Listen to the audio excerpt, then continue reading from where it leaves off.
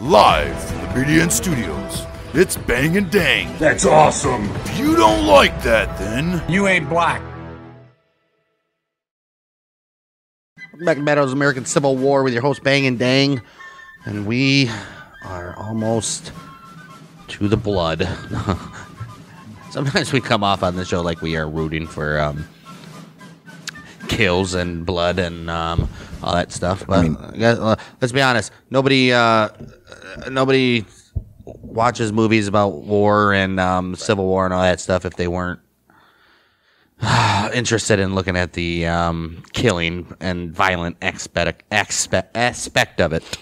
Um, with that being said, uh, we're on to end of November or early December in the war, heading out of uh, 1861. We got four battles for you today, including two um, Confederate clashes with Native Americans up in Oklahoma, the first of such in um, the battles or the war so far. We got the uh, battles of Ivy Mountain, Round Mountain, Chusto-Talasah, and Camp Allegheny. Um, those second two are pretty straightforward. Not a lot known about them. I guess nothing uh, was kept in in depth on those two, but Ivy Mountain and Camp Allegheny, decent sized ones. Camp uh, Battles of Ivy Mountain kind of starts out with uh, it's called the Big Sandy Expedition, which was an early campaign of the Civil War in Kentucky that began in mid September of 1861 when Union Brigadier General William Bull Nelson received orders to organize a new brigade at Maysville, Kentucky, and, and conduct an expedition into the Big Sandy Valley region of eastern Kentucky and stop the buildup of Confederate forces under Colonel John S. Williams. During the first week of September 1861, all pretense of neutrality in Kentucky ended, which we know, when Major General Leonidas Polk ordered Briga- Brigadier General Gideon Pillow advance Confederate troops up to Hickman, Kentucky. And then um, Kentucky's like, yeah, we ain't neutral no more. September 18th, 1861, Kentucky legislature approved the induction, introduction of federal troops from outside the state. The pro Confederate legislators staying away. Like, I don't want a part of this. Right. You- whatever, man. The next day, Simon Bolivar Buckner, former commander of the Kentucky State Guard, established a Confederate headquarters at Bowling Green, Kentucky, while troops under Felix K. Zollicoffer seized Barbourville. Mm-hmm. Which you can go back and look at that battle. Shortly afterwards, Zollicoffer arrived at Cumberland Ford with approximately 3,200 men, consisting of four infantry regiments and field battery of six guns hmm. and four cavalry comp- companies. So, so we got some cavalry, got some oh, horses. Obviously, horses. Obviously, this posed an, an imminent threat to the Union control of central Kentucky at a time when increasing numbers of Confederates into the Big Sandy Valley of eastern Kentucky appeared about appeared about to enter the Bluegrass region through McCormick's Gap, which is in Frenchburg. In response, Brigadier General George H. Thomas ordered troops from Camp Camp Dick Robinson. Why do they name these camps stuff like this? Right. To southeast Camp. Why can't it just be Camp Robinson? Right. Uh, to southeast Kentucky to halt any movement toward Big Hill, Richmond, and Lexington. Former Vice President of the United States John C. Breckinridge and his ally Colonel Humphrey Marshall added to Thomas's concerns with a call for peacemen and states' rightsmen to assemble in Lexington for drill. However, However, both Breckinridge and Marshall instead rode to Mount Sterling to join the Confederate forces in Western Virginia, where Marshall took command of the Army of Eastern Kentucky, posted at Piketon, which is now called Pikeville, I believe. Okay, here. So they want Kentucky. They want Kentucky. They want it, and they want Both it sides now. are like, we need to protect.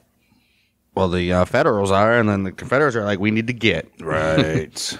Several days later, Bull Nelson publicly announced he had established his headquarters at Camp Kenton near Washington, Kentucky, and would arm and equip volunteers to end treason in mm. Kentucky.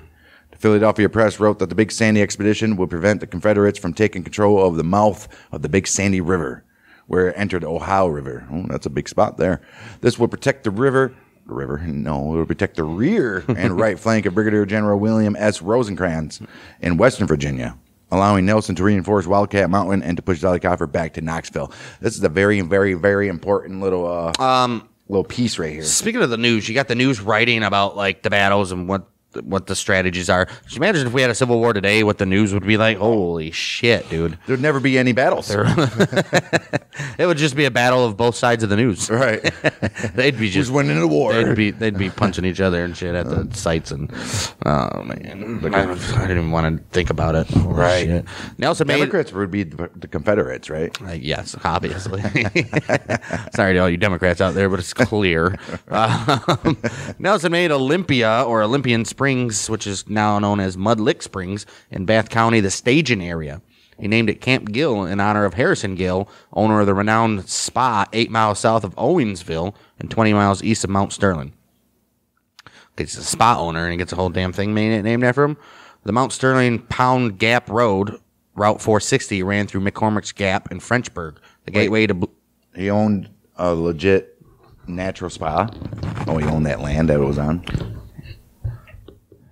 He owned a renowned spa eight miles south of Owingsville and 20 miles east of Mount Sterling. Right. Didn't they only have like hot springs? They weren't. Hmm. And they weren't a spa. I mean, depends on the what, hell was it with I don't know. spa in Dep- 1861? Depends on what they did. Right, put leaves over your eyes or some shit. I don't know. Massaged you or something. Would that be a spa? I guess I don't know what a spa is. I've never been to a spa. Hmm. Have you? No. Uh, yeah. Ah, yeah. See, the Sterling Pound Gap Road, which is Route 60, ran through McCormick's Gap and Frenchburg, the gateway to Bluegrass region from Prestonsburg. On September 29, 1861, Major John Smith Hurt occupied the Vital Mountain Pass with three militia companies. Colonel Lewis Braxton Grigsby added his 300 men to Hurt's 200 on October 8th. Colonel James Perry Fyffe had the 59th Ohio Volunteer Infantry Regiment march to Camp Kenton, and Colonel Leonard A. Harris arrived in Olympian Springs with the 2nd Ohio Volunteer Infantry Regiment. Jeez. Colonel Jesse S. Norton came forward from Nicholasville with the 21st Ohio. And during the next two weeks, Nelson's forces grew to about 55 hundo, 37 of them from Ohio, 3,700 from Ohio, 1,800 from Kentucky. Oh, geez, they don't even got Kentuckians fighting for their own Kentucky. Yeah, Ohioans. It's close enough. All right. At a farm near Prestonburg, Confederate captains Andrew Jackson May and John Finklin, Ficklin assisted so who was John S. Williams with the organization of the 5th Kentucky Infantry. Who the hell is Cerro Gordo? Uh, what does Cerro Gordo mean? There's a lot of names and a lot of um, things going on here. Right. So all these are so the first part were Union. Union. Union. So about 5,500 of those, and only about a, a little over a thousand for the Southerns. Maybe the 1,010 man unit was badly clothed. Some called the hard nosed group the Ragamuffin Regiment. Ragamuffin? Uh, the nine companies of the infantry and five mountain companies had two pieces of artillery, and they carried an assortment of personal weapons that were ill suited for warfare. Oh, of course they were. On Monday, October 21st, 1861, troops that Nelson had assembled at Camp Dick Robinson became engaged in a protracted fight with Zollicoffer's Confederates along the Wilderness Road at Wildcat Mountain, We know this. which we covered. The next morning, Nelson was unaware of, the, of this when he ordered 1,600 men under Colonel L- Leonard Harris to advance 35 miles to West Liberty with two artillery pieces. Uh, that Wednesday, Nelson was in front of Hazel Green with about 3,500 men and artillery. 38 of the 200 Confederates surrendered after a brief fight.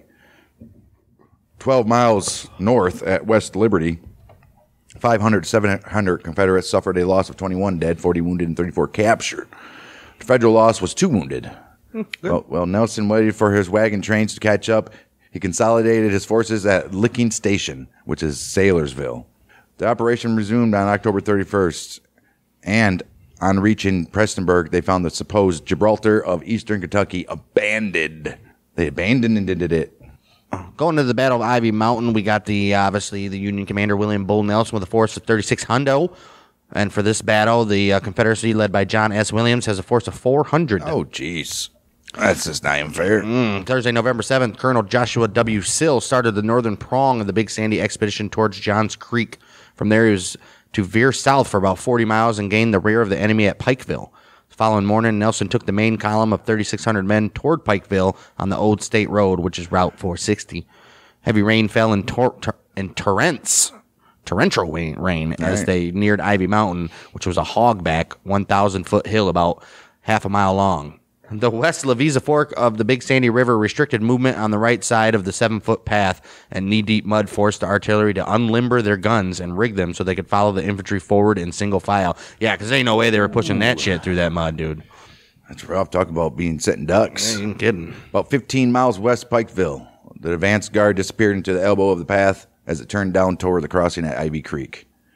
Directly to the front, there were 250 Confederates some 100 feet away up the hill and hidden behind rocks, trees, and bushes. About 1 p.m., that hillside exploded with blue smoke from the double barreled shotguns and old muskets carried by the Confederates. In the next instant, four Union soldiers were dead. Another 13 lay on the hmm. ground wounded. Nelson rushed forward with They're his like, surprise! Right. Nelson rushed forward with his saber drawn. He climbed up on a conspicuous, conspicuous, conspicuously located rock and told his men that if the rebels could not hit him, they could not hit any of them. And then he fell dead. Conspicuous, too. Not like they couldn't see him. right. because it wasn't inconspicuous, you know. All right. He, or- he ordered the Second Ohio Infantry and the 21st Ohio Infantry to push up the side of the mountain and flank the enemy position from the north. At the same time, Nelson had two light artillery pieces take a position near the mouth of Ivy Creek and West Levisa Fork and fire directly into the enemy breastworks. About 2:20 p.m., the 21st Ohio Infantry arrived at the top of the hill. They rolled large boulders down on the Confederates who ran off in mm-hmm. every direction. A half hour later, Captain May had his men felling trees and burning bridges to retard pursuit. Okay.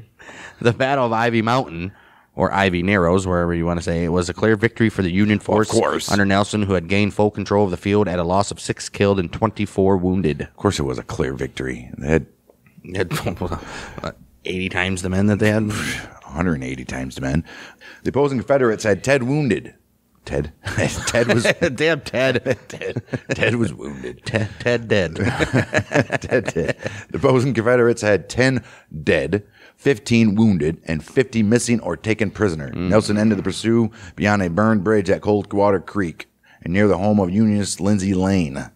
Williams continued on to Pikeville, where he posted a rear guard of 400 men to cover a withdrawal to Pound Gap with the remainder of his force. 3 a.m. Saturday, 9th of November.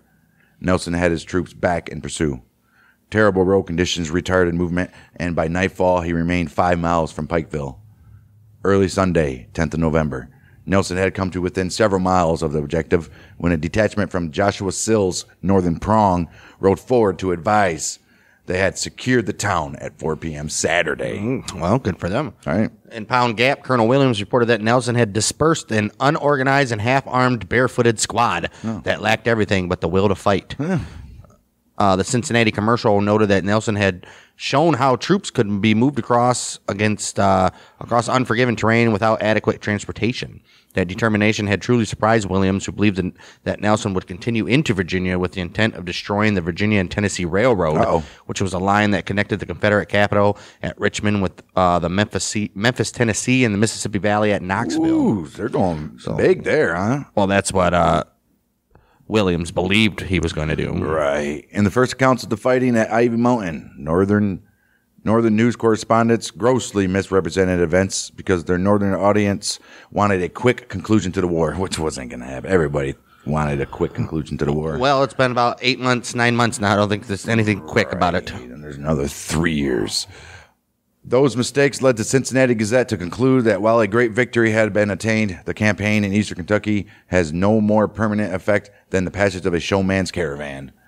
500 rebel guerrilla cavalry will undo in a week the ornamental work, done at so great an expenditure of money and most precious time. The latter issues were of great concern, and the reason why Brigadier General Don Carlos Buell, whoever that guy is, replaced Brigadier General William T. Sherman in Louisville. Nelson received orders to report there, and his brigade followed on Sunday afternoon, November 24th. As predicted, the Confederates returned, and that brought Colonel James A. Garfield into the region to resume the unfinished task of subduing them. Is that the James A. Garfield? I don't think so. I think it is. He was president after, I don't know. right? I don't think so. Maybe. He was a colonel in the war. I don't think so. Garfield? Every president was, sure was. Yeah, look at that. 20th president of the United States. Good for him. Uh, the, that brings us to the Battle of Round Mountain, which takes place uh, on the tr- uh, it's the first battle in the Trail of Blood on Ice campaign for the control of Indi- Indian territory during the Civil War. Occurred on March ni- or March November nineteenth, eighteen sixty one. Its main purpose was to prevent Union supporters of the Creek Nation, led by Apathlayahola, from fleeing Indian territory to the protection of Union forces in Kansas. So they didn't want these guys to go uh, flee into the protection Right. we got the Confederates uh, called Cooper's Brigade, brigade led by Colonel Douglas H. Cooper. Makes sense. Had six companies: First Regiment Choctaw, Chickasaw Mounted Rifles. So they got some uh, Indians with them as well, huh? Uh, led by Major Mitchell Lafleur. We have a detachment from the First Creek Mounted Rifles, Colonel Daniel N. McIntosh with them. Detachment, uh, Second Creek Mounted Rifles, Lieutenant Colonel Chilly McIntosh. Must be brothers. Detachment of Seminole Indians, led by Major John Jumper. Detachment of 9th Tex- Texas Cavalry, Lieutenant Colonel William Quayle. For the Union, all Indians, no Union forces. Creek and Seminole Indians, led by Apatha La Jolla. The Lacapoca Creeks, the Muskogee Creeks, and the Seminoles, which were led by, um, what do they call their guys? Warrior, warrior guy, Halleck Tustanugi, and Sonic Miko. Sonic Miko. I don't like Indian names. Know. Get them all wrong. Colonel Douglas H. Cooper, Confederate commander of the Indian Department, was unable to reconcile differences with Apalapalea Hula. Apathalea Hula. Apathaleahola. Apathaleahola. Commander of the band of Unionist Creeks and Seminoles. Apathalea Hoya group Seminoles was were in Oklahoma though. Wow. They're everywhere.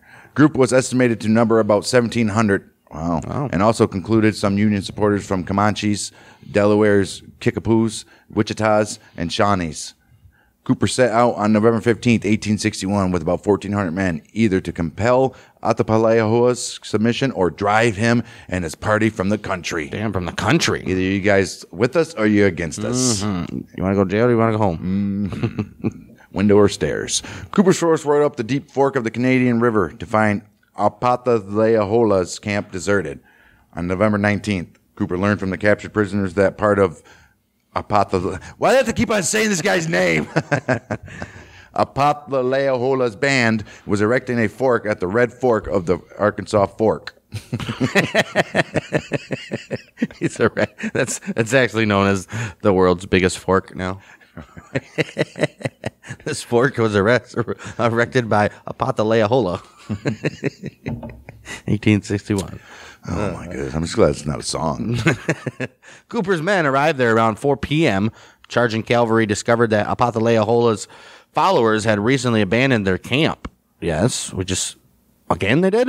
The Confederates located and followed stragglers. The Fourth Texas blundered into Apataleahola's warriors on the tree line at the foot of the Round Mountains. The Federal response chased the Confederate cavalry back to Cooper's main force. Hmm. Darkness prevented Cooper's counterattack until the main enemy force was was within 60 yards. After a short fight, Apataleahoya's men sent, set fire to the prairie grass Oh. and retreated. Of course they did. The following morning, Cooper advanced on Apataleahola's canoe camp, but found that the Federal forces had fled. The Confederates claimed victory because Apataleahola had left the area. The Confederates captured abandoned supplies such as uh, their carriage and a dozen wagons, food, cattle, and ponies. The Confederates' loss in the engagement was one captain and five men killed. Oh, a captain, though. Three severely and one slightly wounded, and one missing. Uh, Pataleahola lost 110, Jeez. which was killed and wounded. This was the first of three encounters between Apataleahola's Union band and Confederate troops. The Unionists were forced to flee to Kansas after the Battle of Chasanahala at the end of the year. We'll be having that coming up with probably next episode, maybe. Um, there's a little bit of controversy with this battle site, as the site of this event has been disputed for many years, Uh-oh. with two locations emerging as the leading choices. One is near the present day town of Yale, Oklahoma. The other is close to the former site of Keystone, which is now submerged by the waters of Keystone Lake. Angie Debo, a noted Oklahoma historian, wrote an article describing the evidence for and against each site. She concluded that the evidence pointed more strongly to the Yale site, which, if I'm not mistaken, that's where they hold all of the uh, reenactments and everything. Which obviously you're not going to do it at the Keystone site because it's underwater. right. I think they just did that because it's underwater. Yeah. And they're like, well, who's going to prove us wrong? Right. Right. Right. The Battle of Chusto Talahassa, Talasa, Talasa. also known as Bird Creek, Caven Banks, and High Shoal, was fought December 9th, 1861, in what is now Tulsa County, Oklahoma, then Indian Territory back in that day. During the American, of course, it was during the American Civil War. It was the second of three battles in the Trail of Blood on Ice campaign for the control of Indian Territory during the Civil War. Right. Cooper's Brigade, once again, had six companies. First, Choctaw, Chickasaw, Mountain Rifles, Major Mitchell LaFleur again. So, all, oh no, he got different detachments now. Uh, Detachment Choctaw Battalion, Captain Alfred Wade. Choctaw, man. Detachment First Creek Regiment, Colonel Daniel McIntosh. Detachment Creek Indians, Captain James M.C. Smith. First Cherokee Mountain Rifle Regiment, Colonel John Drew. Fourth Texas Cavalry Regiment, Colonel William B. Sims. Detachment 9th Texas Cavalry, Lieutenant Colonel William Quayle. Whitfield's Battalion, who is Captain John Whitfield. So, we got the Confederates coming up, and the Union guys only getting a little. And once again, we have Chief Opathalaholahala, Chief Opathalelahola. Yeah, I can't even say it now. Apatalehola. Yeah. Chief Apatalehola. And then the Lacapauca Creeks, the Muskogee Creeks, and the Seminoles again. So he has the same guys. Yeah. Same. Of course he did. Right. Series of battles were fought in December in bad weather between the Confederate Cherokee and Choctaw Indians and the Union Creek and Seminole Indians, led by the Muskogee Creek chief Apataleahola, who supported the federal government. course we know. Following Apataleahola's and as Union forces defeat at Round Mountain, he retreated northeastward in search of safety. On December 9th, 1861, the force was at Chusto-Talasah, which is known as Caven Banks, on the horseshoe bend of Bird Creek, when Colonel Douglas H. Cooper's 1,300 Confederates attacked about 2 p.m. Uh-oh. Chief Apataleahola knew Cooper was coming and had placed his troops in a strong position in heavy timber at Horseshoe Bend. Okay. For almost four years, Cooper attacked and attempted to outflank the Federals. Four years? Holy Oh, shit. no, right. They're just putting in some work. For almost four hours. For almost four hours, Cooper attacked and attempted to outflank the Federals, finally driving them across Battle Creek, nope, Bird Creek, just before dark. Cooper camped there overnight, but did not pursue the Federals because he was short of any ammunition. Gotta have the ammo. The Confederates claimed victory, although some sources credit Apataleahola's forces with driving off the attackers.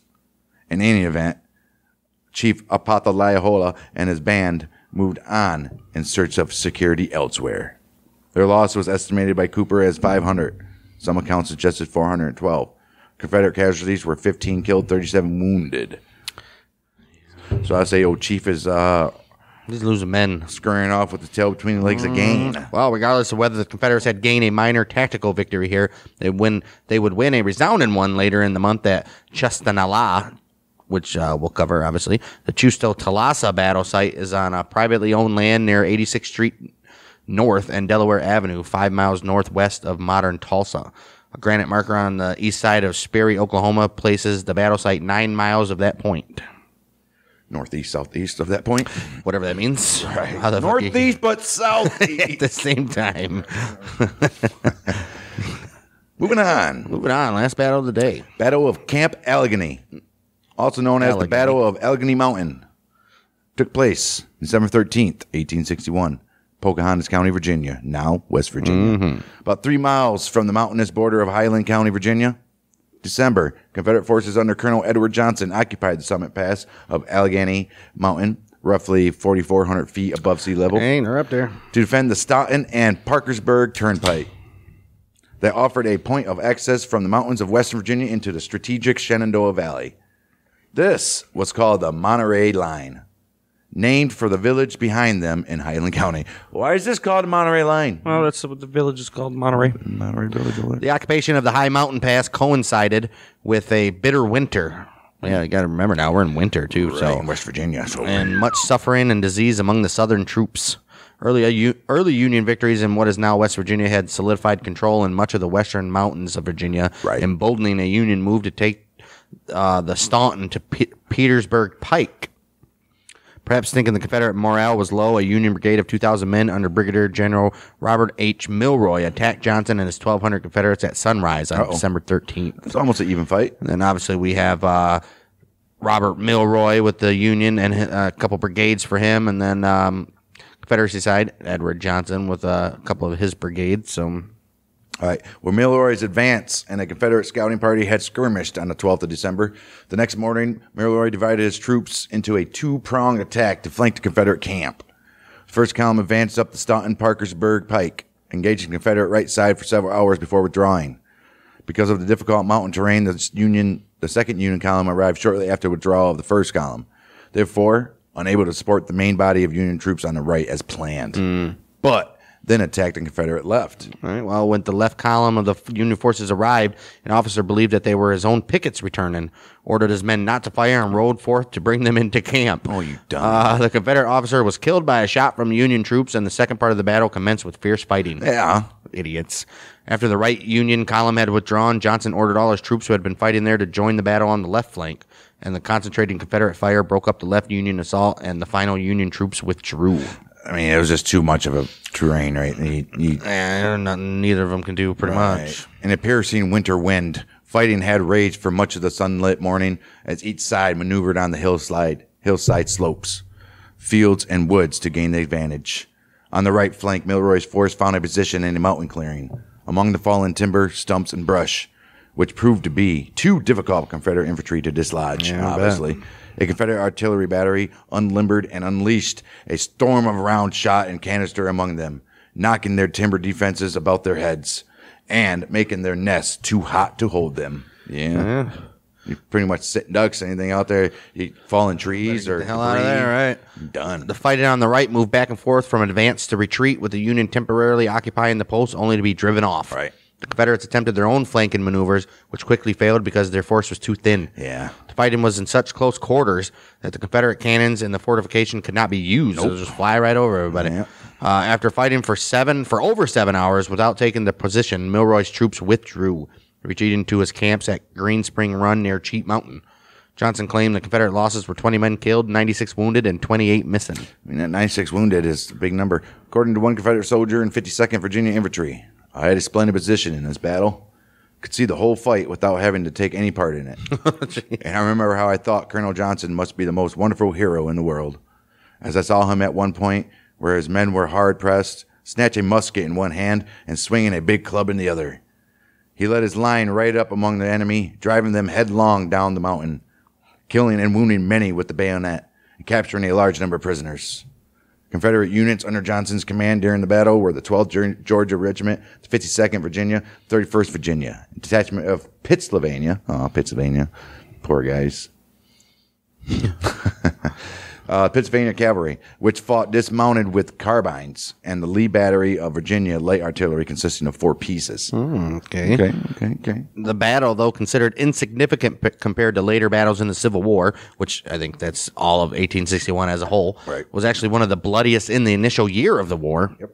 From April to December, obviously, of this year, the Union casualties are estimated 137, hmm. Confederate casualties at 147. Okay. Johnson would receive the nickname Allegheny Johnson for his role at the battle for and for commanding the Forbidden Mountain Post. Right. That's rough battling there, man. Ironically, the Confederates had received orders to withdraw a few days prior to the battle. What? Hmm. So they can. There was no reason. There, there was no reason to even fight this battle. But the failed Union assault convinced the Confederate higher command to reinforce Johnson's force and, Right. and place at Camp Allegheny with five regiments through the remainder of the harsh winter of 1861 through the uh, beginning of 1862. The weather was bitter. Snow was often knee deep, something the Southern soldiers, mainly from Georgia and Virginia, were not Right. accustomed to. The toll on Confederate troops was brutal.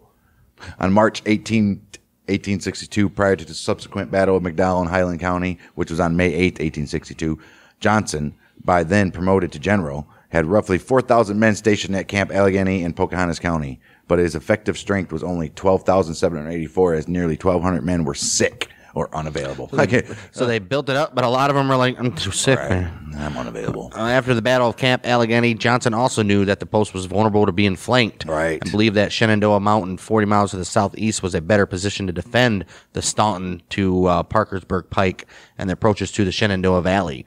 Combined with the loss of men in the harsh mountain winter and the logistical challenges of keeping the remote mountain post effectively supplied, General Robert E. Lee agreed to let Johnson abandon the post in favor of Shenandoah Mountain on April 2nd, 1862. I mean, it makes sense. Makes sense. yeah, I mean, if you're not going to be successful there, why stay? I mean, the mountainous, ooh, Yeah, you, uh, that's why West Virginia succeeded for the Union. rough. By April 6, 1862, Johnson's constructed Fort Edward Johnson at the site on Shenandoah Mountain, just 26 miles west of Staunton. However, the new fortification was soon abandoned on April 19th. When Johnson left to rendezvous with the Confederate Army of General Thomas Stonewall Jackson mm. in advance of the Battle of McDowell. The battles in the rugged and mountainous region of Western Virginia were small by later standards, but left an enduring footprint because these counties that were in the Union control formed the nucleus of the new state of West Virginia. What I literally just said. Right. Because of the Battle of Camp Allegheny and the subsequent Battle of McDowell, the future state line between Virginia and West Virginia would begin and stop at the Pocahontas and Highland County line, even though the counties shared the same geographic, geographic traits and mountain culture. All right. It doesn't matter. Uh, neither Pocahontas County nor Highland County participated in the creation of West Virginia, but Pocahontas was included in the new state nevertheless as part of the congressional statehood bill when Highland remained part of Virginia. Oh. In 1903, Ambrose Bierce wrote a column in the New York American about the visiting about visiting the battle site entitled "A Bivouac of the Dead," Uh-oh. recalling his involvement in the battle as a member of a Union regiment. Bierce wrote movingly about the sacrifice and suffering of the men in this little remembered battle in a remote area, and hauntingly about how little the battlefield had changed. Dude, right, there's nothing there. It's probably Right. it probably looks exactly the same. You're- dude, if people don't understand what West Virginia, the mountainous areas of West Virginia is, and man, it's rough. Mm-hmm. That's why they call them mountain people. Those mountain guys in West Virginia. What, what was the what's the uh, little mountain range there? Appalachians. Yeah, there's another one. Uh, It's the Appalachians, but it's the uh, Allegheny Mountains too, which are part of the Appalachians. right, and then you got the uh, Smoky Mountains. You got all that yeah, shit down there. Yeah, yeah, or the uh, right, right, right, right. Isn't right. there like the Blue Mountains too, or something? I don't know. It's all part of the Appalachian chain, though. Ozarks and all that? Matter of fact, the Allegheny Mountains are part of the border of West Virginia and Virginia, just the mountain line. One side is West Virginia, one side's um, Virginia. All right. Well, this battle is also known as the Battle of Allegheny Camp or the Battle of Allegheny Mountain. Johnson was actually referred to in the South as Allegheny Johnson, Right. reflecting the usage that d- derived from the English co- uh, colonial area rather than the French derivative, Allegheny. okay. Contemporary accounts from the time in the South used the word Allegheny, including Johnson's own accounts of the battle published in Staunton Spectator in All March spelled different with a 1862. Right. with a A N Y instead of E N Y. Right.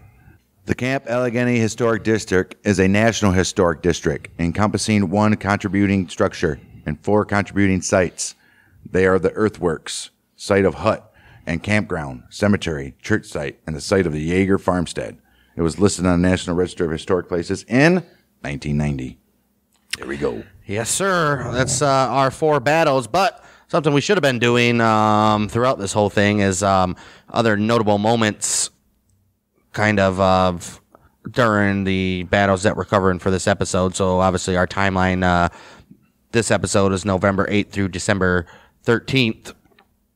So just critical moments in the war that uh, aren't talked about for the battles. But November 8th, 1861, USS San Jacinto captures the British mail steamer Trent en route from Havana to Europe. Aboard a pair aboard are a pair of Confederate commissioners, James Mason and John oh. Slidell. Look at those sneaky, sneaky. Mm-hmm. What the hell are they going there for, anyways? Right.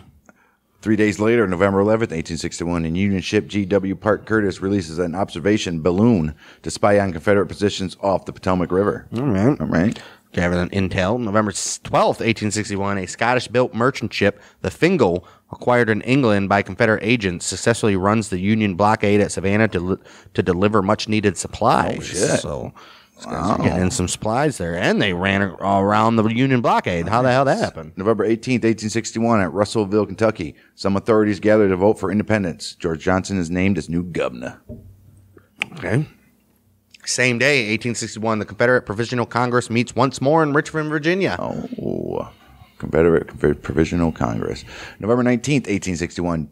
To better meet the need for resupply and reinforcements, Confederate President Jefferson Davis implores the Congress to fund the construction of an east west railway system. Yeah, you guys need some railroads down there, guys. That same day as well, November 19th, Julia Ward Howe pens the Battle Hymn of the Republic. The poem is written to the song John Brown's Body. John Brown, the battle hymn of the Republic. the glory of the coming of the Right? Yep, November 22nd, 1861. Indian Terri- territories of the South are now under Confederate rule. Yeah, of course they would be. Right. November 25th, Judah Benjamin, the Confederate Secretary of War, calls on all East Tennessee traitors to be executed where they stand. Oh, that's a little bit Yeah, much guys- there, guy. geez, Come on. John or Judah. Jeez, Tennessee. What are you doing? What are you doing in Tennessee? Wow. Well, this is the Confederate Secretary of War for the whole damn Confederacy too. Right. So why only Tennesseans? December 1st, 1861. By this time, Union infantry numbers in Kentucky swell to 70,000 men. Mm-hmm. Okay. Next day, December 20, or second, the next meeting of the United States Congress. President Lincoln calls for a new railroad to be constructed to help in the Union war effort. So he's like, "We need more." December 2nd, 1861. Union fighting strength numbers from 661,000 men by this date. They're going to need a lot more than that. Yeah. That's going to do it. Everything that uh, happened from the dates we covered today, that was the battles of Battle of Ivy Mountain in Kentucky, a Union win, Battle of Round Mountain in Oklahoma, a Confederate win against the Indians, the Battle of Chusto-Talasah, also Oklahoma against the Indians, Confederate win, and the camp, Battle of Camp Allegheny, which um, Class C battle, inconclusive, I would say but so, all right. We got uh, six more battles to end out 1861. We'll probably do uh, three next week and then three the week after. We got the Battle of Rowlett Station, Class D battle, the skirmish at Blackwater Creek, Battle of Dranesville, Class C battle, Battle of Chustenahlah, the last one of the Blood on Ice campaign, the Battle of Mount Zion Church Uh-oh. which is a D battle, and uh, ending out on December 28th, Sacramento, Kentucky, the Battle of. So, yeah, and then it's like these guys are taking a couple days off from major like battles and stuff like this. But 1862, is every day. They battle every day. I, I battle every day. battle every day. It's gonna do it for us. Battles of the American Civil War. This episode, if you guys are uh, history buffs and you like true crime type of stuff, we do another podcast called uh, Outlaws and Gunslingers, where we covered everything from the Wild West, Prohibition, gangs, um, the Unabomber, Jonestown. The other bombing, uh, Oklahoma City bombing, we just wrapped up 1992 LA riots, and um, our last episode was all about Isabella Gardner Oh, yeah, the Gardner heist. Museum art heist, the largest art heist in American history, worth up to about six hundred million dollars of stolen items that have never been found. So you guys can go check that out. Outlaws and Gunslingers on the Creative Control Network. Just search either Creative Control Network, you'll find us, or Outlaws and Gunslingers, you'll find us. And we'll be back next week for another episode of Battles of the American Civil War. We are the Mouth of Michiganders with Bang dang.